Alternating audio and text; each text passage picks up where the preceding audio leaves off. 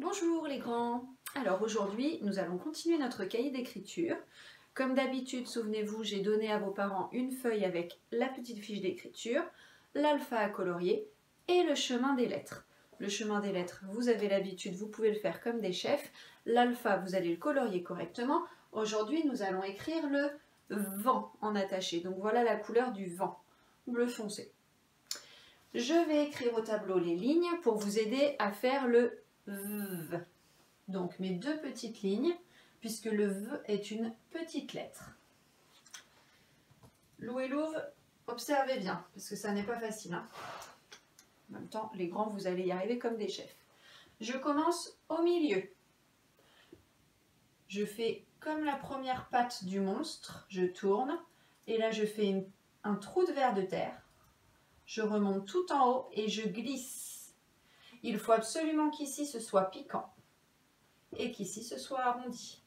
Vous n'avez pas le droit de piquer pour la première. Sinon, ça fait comme Madame U, Mademoiselle U. Là, ça n'est pas possible de faire piquer ici. Ça doit être arrondi au début et piquant à la fin. Ok? Donc ça, c'est sur la première ligne. Vous allez faire la lettre V. Deuxième ligne, vous allez devoir écrire, ah ben, vous allez me le dire ça. Va. Donc va, il suffit que je rajoute la lettre A. Je vous remontre, je fais mon V. Je pique et je glisse. Je me mets un petit peu plus loin et je raccroche mon A au bout de la main du V. Hop là, bien rond la canne à l'envers, et c'est tout bon. Dernière mission, la troisième ligne, là vous ne pouvez pas trop le lire, puisque j'ai marié Madame I et le nez, et que les deux ensemble, ça fait un autre son, ça fait 20. Il y a écrit le vin, le vin que l'on peut boire. Il ne faut pas en boire trop. Hein.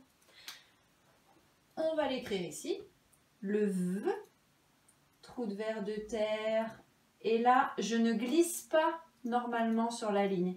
Je baisse un petit peu la main du vent, je l'accroche au i, canne à l'envers. Et le nez, une patte, je repasse dessus, deuxième patte. Donc pour écrire le mot vin, là il y a deux pièges. Je vous remontre.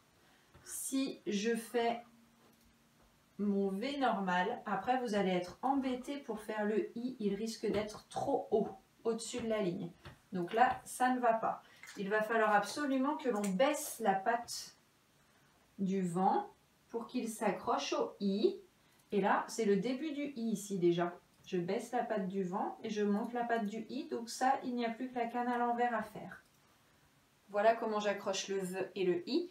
Et le deuxième piège, c'est qu'il ne faut pas s'arrêter ici, entre le i et le n. Parce que si vous vous arrêtez, moi je vais voir qu'il y a un problème par ici. Donc je vous remontre une dernière fois. Je fais mon V, je baisse la main pour faire Madame I.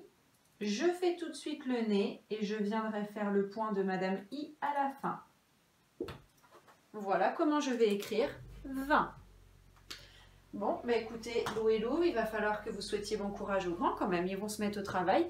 Appliquez votre écriture comme d'habitude. Prenez le temps. Vous pouvez vous entraîner plusieurs fois sur votre ardoise avant de commencer l'écriture dans le cahier. Vous savez que vous pouvez vous entraîner autant que vous le souhaitez. Allez, bon travail les grands.